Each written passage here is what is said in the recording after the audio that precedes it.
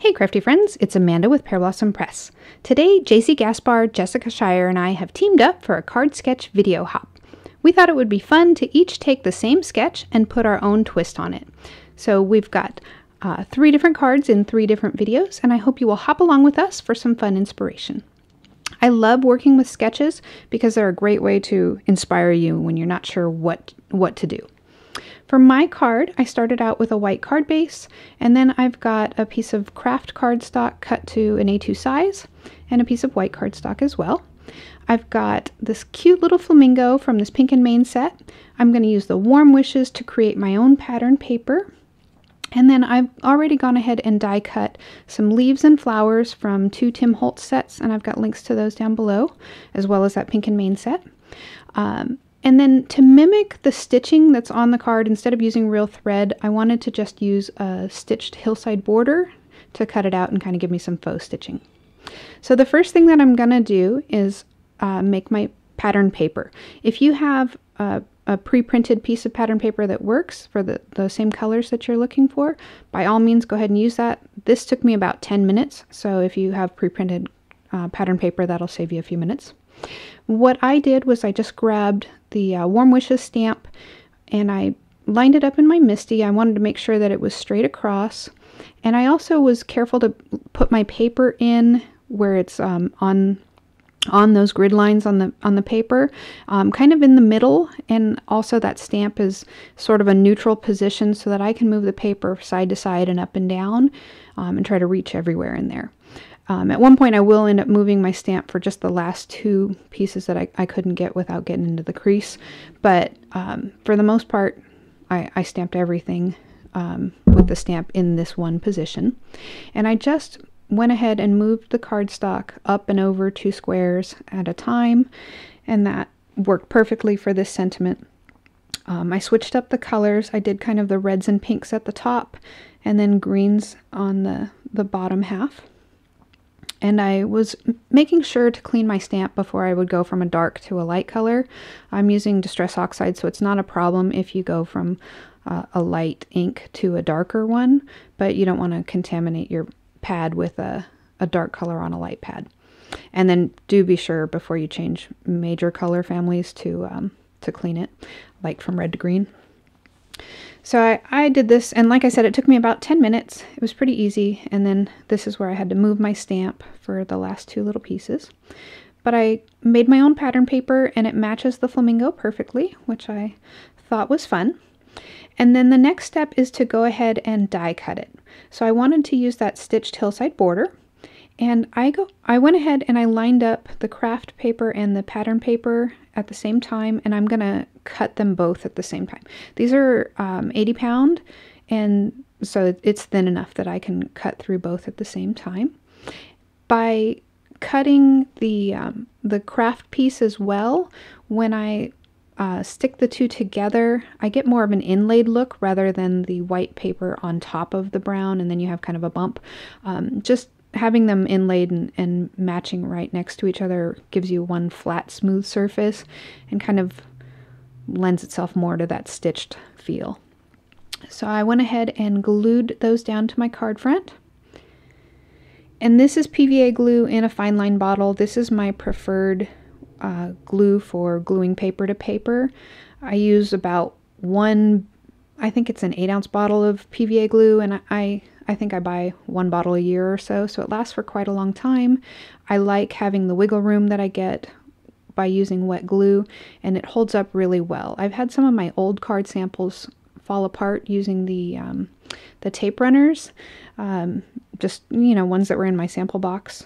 After a while, started to to come apart using that old stuff, so I, I've switched over to the PVA, and I just keep refilling that fine line bottle. So if you're looking for a new adhesive, that's my recommendation. After I get the two pieces glued onto the card, I'll bring out all of my little die cut pieces. Now those I just die cut from two colors of green cardstock, and you can add details if you want to with a marker, but I knew I'd be layering everything up, and I really want that flamingo to be the star of the show, so I didn't add any extra detail to those leaves. Um, I just kind of figured out where I wanted them to be and then I can come back in with that PVA glue and glue them down. I am overlapping the leaves and I'm letting them hang off the edges. I'll trim those away at the end, but it, it kind of fills up the scene a little bit more if they go off the edge. And also when I'm gluing them down, I'm not worrying about getting the glue all the way 100% out to the edges of every leaf. If they kind of stick up a little bit, it'll give the, the card a little more texture. So um, I like that. Then I went ahead and added some foam tape to the flamingo and popped it up. Again, I want it to kind of be the focal point there, so it's going to live on top. Now I do have these three little white flowers that I cut out. Those are also in that, that tropical die set. Um, I knew I didn't want them to be white. Um, I figured I would use the, the pinks and reds that I used in my uh, flamingo there. And if you want, you can cut them out of colored cardstock, but the that one die cuts out all three flowers at the same time. And I like cutting these out of white cardstock so that I can add the color myself. Um, oftentimes I'll use a piece of tape upside down and I'll just kind of stick tiny pieces to it and color them all at once, but I was in a hurry. This is quick. Um, so I just held them in my fingers. um, I did try to use two colors for each one though. The I just added a little darker color to the center. And then I added a little bit of body, kind of curled the petals up a little bit just by kind of smushing them into the palm of my hand. That forces the edges of the petals to stick up a little bit. It's quick and easy, and it, it's one of those little things that it, it's noticeable. Even though they will sort of flatten out, especially in the mail, they will have a little more volume. They, they will want to stick up a little bit more. So I, I usually do this with flowers. And then when I was sticking them down with my fingers here, I'm, I'm just gluing them in place, but it my fingers are a little bit big to stick these tiny ones down, so I just grabbed a ball tip stylus and kind of pushed them down in the center there, and that also helped to kind of pop up those petals a little bit more. I think it's a nice little accent here. So I decided at this point that my Warm Wishes sentiment wasn't really acting like a sentiment. So I wanted one more sentiment to be sort of the, the focal sentiment. Even though it's not really on the sketch, um, I decided to add it in here. Uh, another little pop of pink as well. So I grabbed a scrap of pink cardstock that was basically the right shade. I used those same Copic markers that I used on the flowers and the flamingo to kind of darken up the bottom and give me an ombre effect. And then I grabbed that Deck the Palms stamp and lined it up so that I can um, stamp it with Versamark ink. Uh, before I stamped it, I did use the powder tool just so that I won't get stray embossing powder on the paper.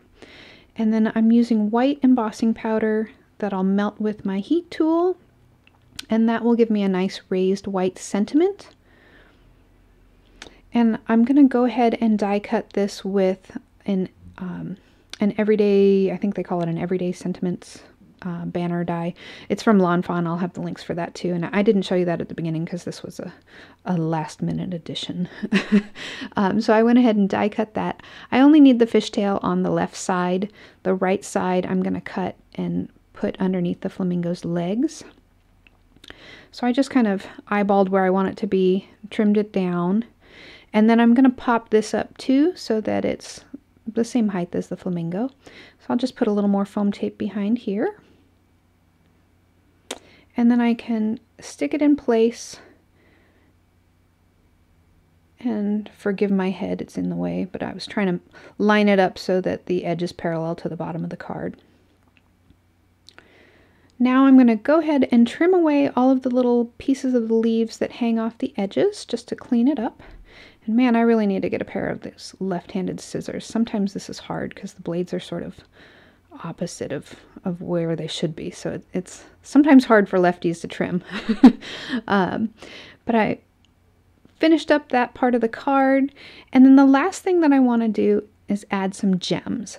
So I've got these little rhinestones, they're flatback gems. Um, they're really small. I think they're actually meant for decorating fingernails.